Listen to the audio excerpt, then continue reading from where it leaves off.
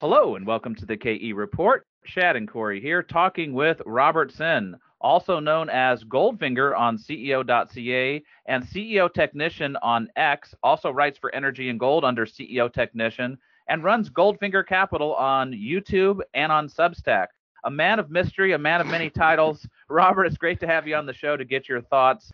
I want to just kick things off on a macro discussion. We've been looking at a lot of what's happening in the markets in an environment where we're seeing really everything go up the general stock markets, crypto, the commodities. It's really a pretty bullish sentiment in a year that everybody thought we were going to see a recession and we'd have an economic contraction. So, what is your take on what's driving the macro? Is it the Fed? Is it the growth in the economy? What do you think's behind all of this speculation in the markets? Thanks, Corey and Chad, for having me on. I really appreciate it. It's always a pleasure to chat you know, that's a big question. It's a tough question. It's like uh, trying to be God and trying to uh, know everything. And I'm definitely not God, and I definitely don't know everything, or not even close to everything. But I'll give it a, a shot. And I really do think that markets are front running central banks. The markets are seeing a lot of easing coming, and we we have to not just focus on North America. The world is a big place, and North America is actually a very small portion of it.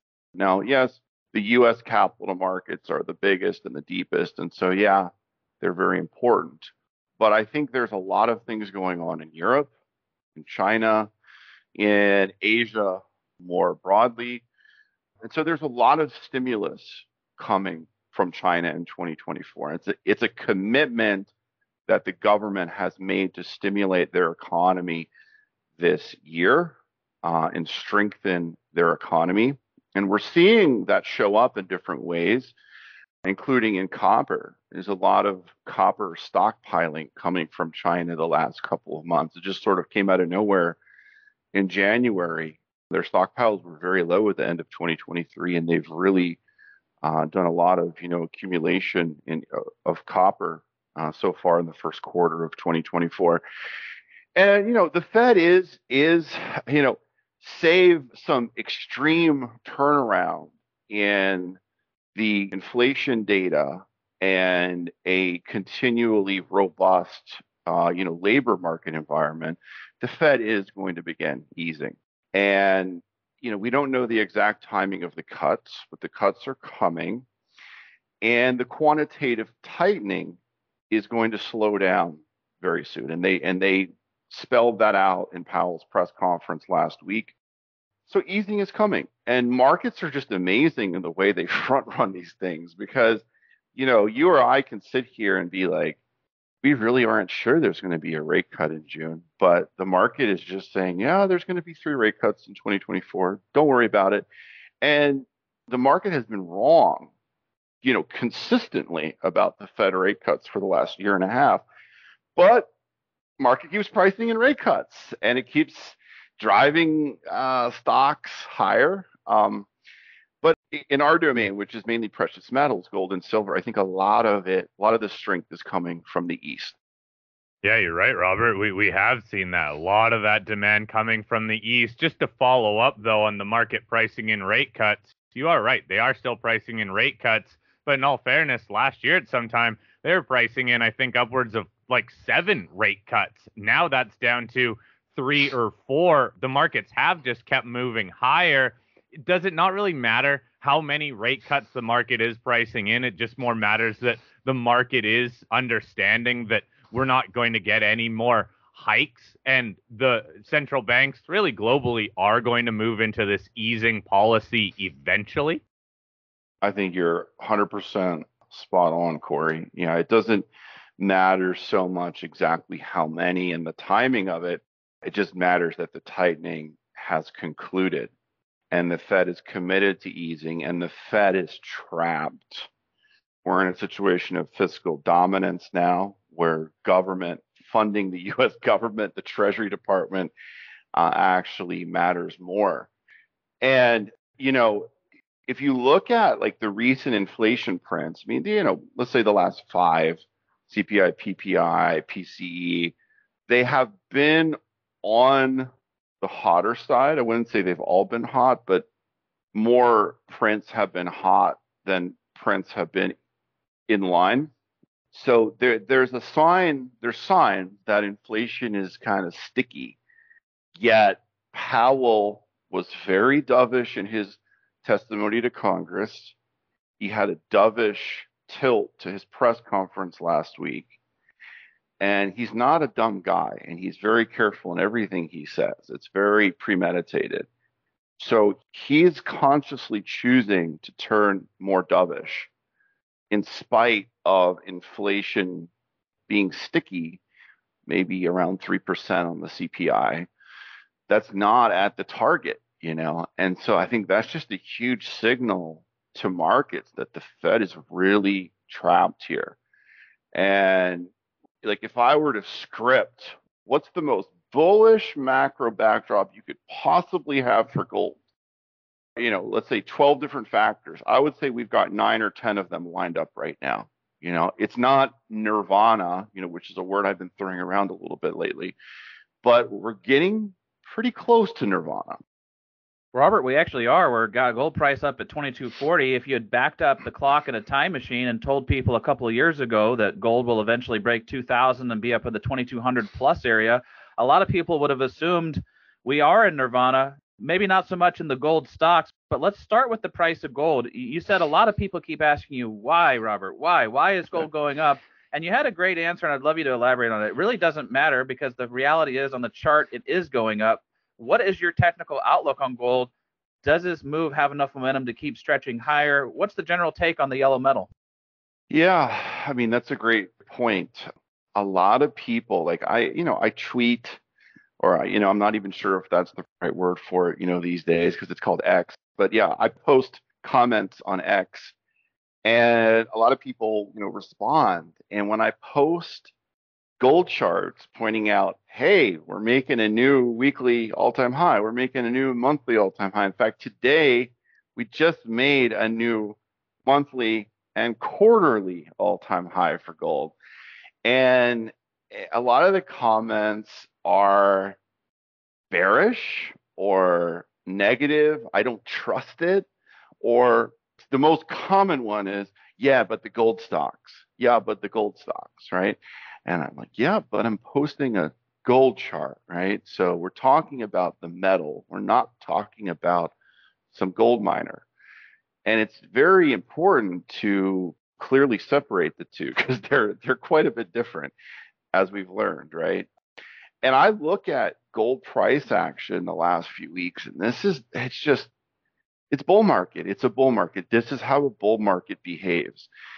And we had that spike up to 2225. I think it was Wednesday night futures trading. And it came back down. It was kind of a short squeeze, you know, extended hours spike. It, it caught some shorts in the futures and forced them to cover. And then it came right back down to 2160. And a lot of bearish comments came out. See, oh, that's the blow off. You know, that's it. You know, the high is in at 2225. And like, nope, that's not it. Watch it settle find its footing here in the 2160s, and we'll work our way back up again. And that's exactly what it's it's done this week. So it's it's characteristic of a bull market. And you can ask why until you're blue in the face, and you could try to explain it and make up theories, but at the end of the day, nobody knows everything that's driving the gold market. It's too big of a market. It's a global market. There's so many players, there's so many forces at work in gold. You just can't have all the answers. You just simply cannot. But the fact is, there has been consistent, there has been steady, and there has been relentless buying for many months. And it seems to have accelerated substantially in the month of March.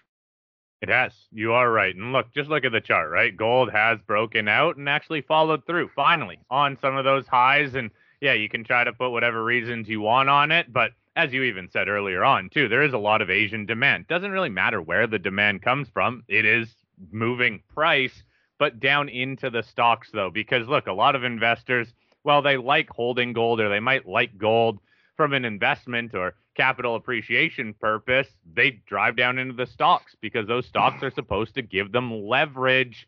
the smaller stocks have still continued to struggle, but some of the majors have really picked up steam after what was a pretty brutal three plus year period of them just moving lower and lower and lower as the gold price was holding up near all time highs. We have started to see some life in these majors as well as higher volume. What stood out to you, though, Robert, in terms of the underlying stocks, especially with some of the bigger players? Yeah, that's a great point. Well, first of all, the GDX rallied aggressively in early March, and then it proceeded to consolidate near $30 a share for a couple of weeks. So that was a high and tight consolidation that we like to see, and that is a characteristic of a bullish market or or stock, right? So the gold miners as a sector have been acting well. And then if we dig down into the you know specific stocks like AEM, KGC, IAG, right? These are either senior or mid-tier gold producers. AEM is making a new 52-week high today. And the last two trading sessions, it has had three, four percent moves higher on increasing volume. So we're seeing volume pick up as price accelerates to 52 week highs. Again, this is not complicated. This is textbook bull market price action in AEM. That's the third largest gold producer in the world. IAG is another one, 52 week highs today. That's a mid tier breaking out. And if you look at the daily chart in IAG, high and tight consolidation, it rallied aggressively late February, early March, proceeded to pull back about 10% in the middle of the month. And now it has continued the uptrend higher, making new highs. So this is textbook bull market action across the gold mining sector, not just in a handful of stocks. We're talking about in dozens of stocks. And the bigger companies, the seniors, the mid tiers are going to lead the sector, and then the juniors will always follow a month, two months, three months later. And I know a lot of your listeners are very skeptical because they've heard a lot of guests over the years talking that, oh, it's time for the juniors, and it, it hasn't quite been. But it feels like the stars are aligning here in 2024. Well, Robert, I want to dig in on that theme a little bit more. We've talked about that, I think, till we're blue in the face, that you're not going to see the juniors move until you see the majors move and the mid tiers move, and then it works its way down the risk curve. You've been through multiple cycles in the markets and have seen this before.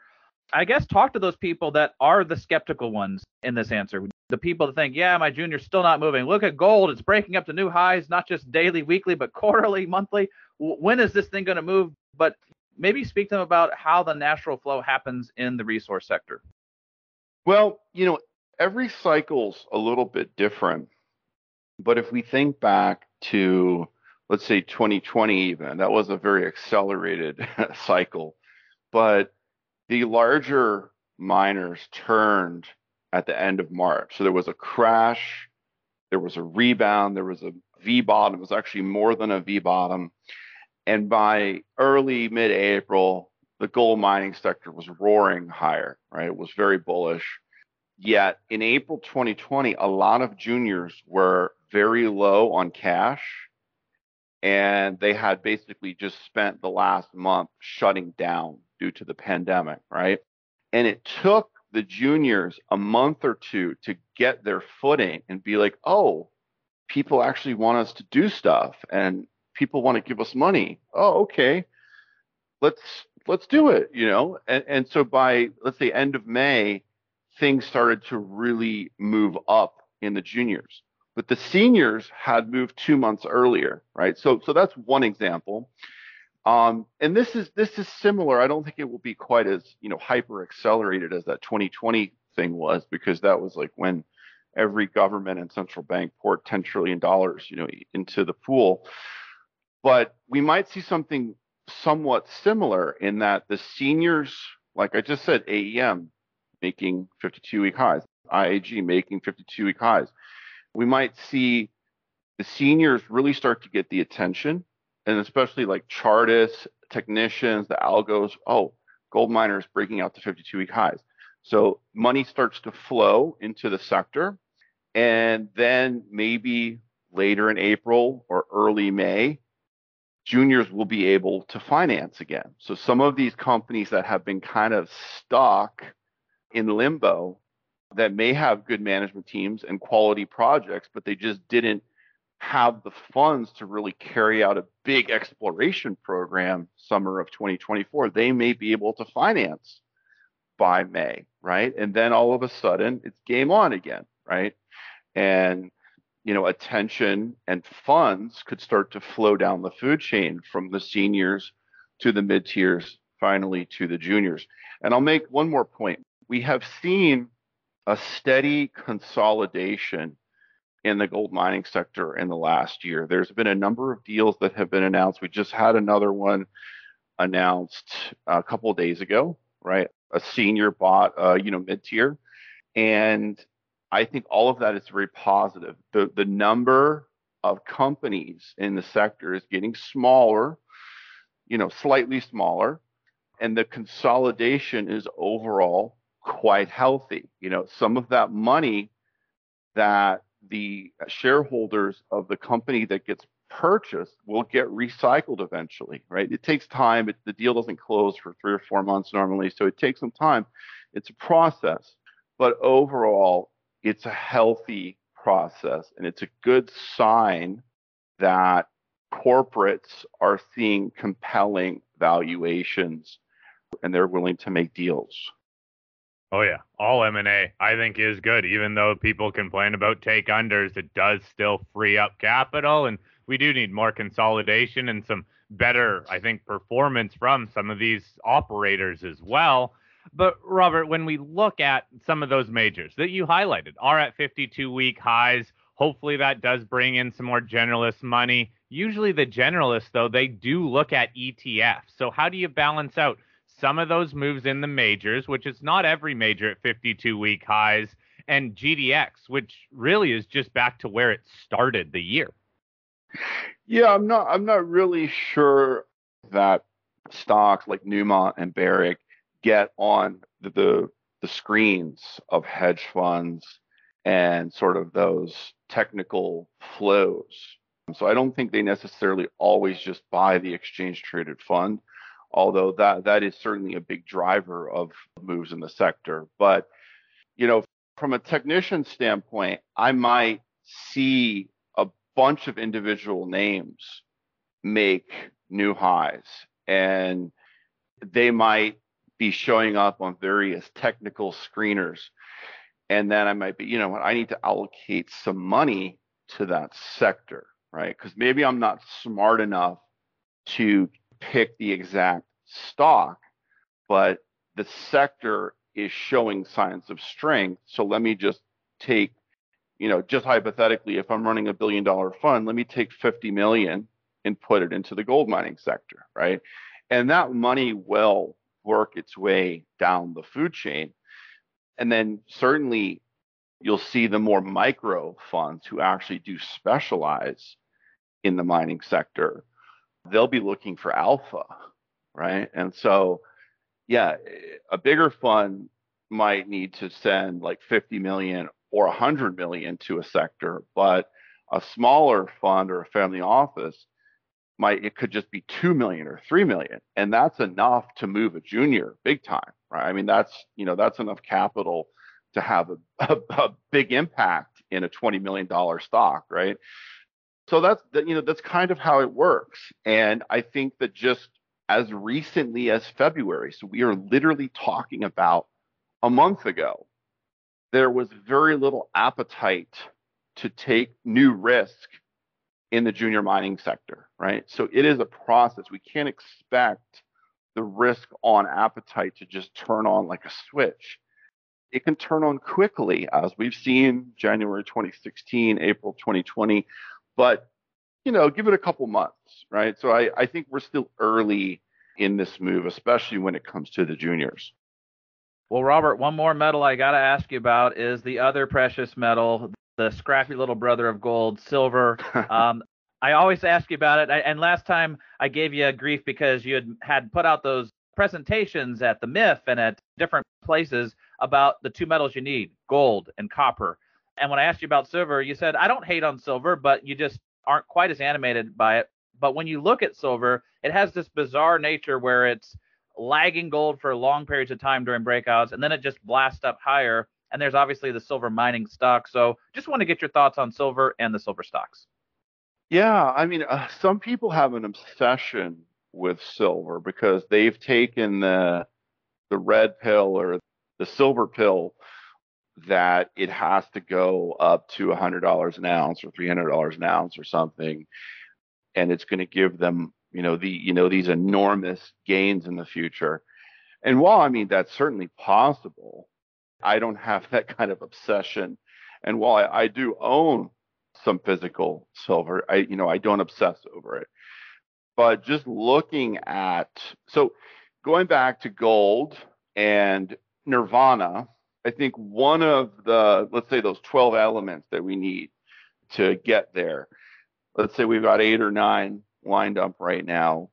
We still three or four left to trigger. I would say the silver breakout above 26 on a confirmed weekly close above 26 would be number nine or 10 on that list to get to nirvana.